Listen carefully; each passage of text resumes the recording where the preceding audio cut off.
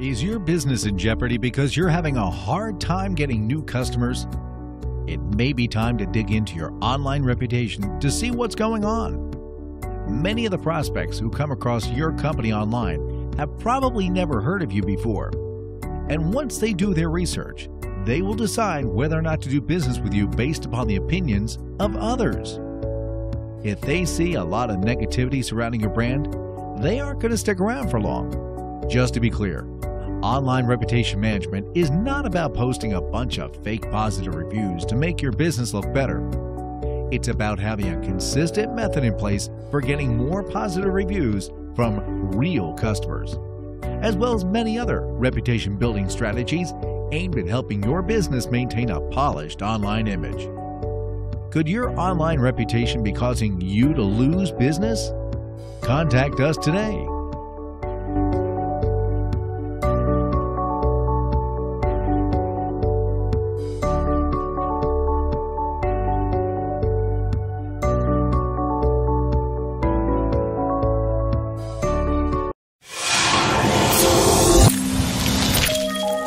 Thank you.